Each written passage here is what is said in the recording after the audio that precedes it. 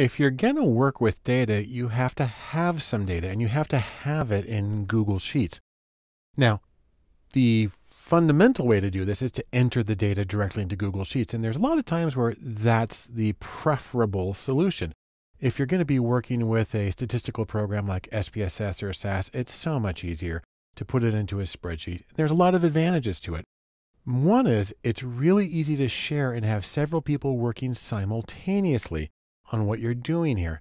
Now, I want to show you if you're going to be entering data manually, and say, for instance, you're going to be entering it based on paper surveys that you have, there's a few things you want to do to make your life a little easy. First off, you want to have what's called tidy data. That's a term developed by Hadley Wickham, who works with the statistical programming language R. And it means that a variable is the same thing as a column and that a case is the same thing as a row. And there's no funny business going on in your sheet. So let's start with this one. If you're entering paper, the first thing you need to do is have an ID number so that you can find the piece of paper in case something gets entered wrong. Now, uh, you may need to get out a pen and write these numbers on a piece of paper. And then maybe you start putting in the questions. Now, I want to show you something kind of neat that Google Sheets and Microsoft Excel are able to do. And what that is, is propagating. So if you take a pattern that's easy to follow, so for instance, I like to type Q01 where Q is for question, and then do Q02 for question two. Mind you, I'm not doing Q1, Q2 because it's going to think that means quarter one, quarter two in the year. But if I do the leading zeros, especially if there's more than nine questions, this is important. I can select those first two, then I can just drag them over and it will propagate and fill in with the same pattern. You can do that for however many you have.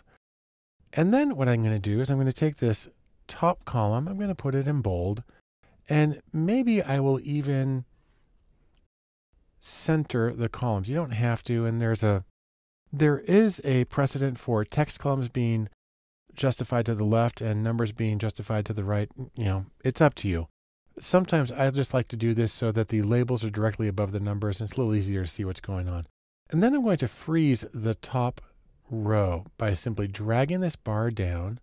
And now when you scroll up and down, that top row stays put. If you're going to be entering data from pieces of paper, like I said, you need ID numbers. And so you go like this, one, two, three, and it can propagate that same pattern. So I'll drag it down a little bit. And now we've got the numbers. As long as those match up with what's on your paper, you're good to go. If several people are entering the data, then you might want to be able to separate who has what. And the first person might start with 101 and then 102. So the one, the first, the 100 indicates the person. The second number indicates which one they're working on. And then the next person can start with 201 and 202. It's okay that there are gaps that you go straight from 107 to 201. You just can't have repeats. That's the important thing. And this way, people can be working separately on their own computers and they can be entering the data simultaneously in the same sheet and it gets in there. It's wonderful. And so the very simple method for entering this is to type in a number. Let's say you've got a rating scale and people are putting in a number. And then I hit tab, go to the next one or a right arrow, and nine. And I can go through and enter like this. I'm just hitting tab at each point. When I get to the end, I hit return and it takes me back to where I started on the first line. And I can go on like this. I can type in the data however I want. If you have missing data, if a person didn't answer a question, it's best to simply leave it blank.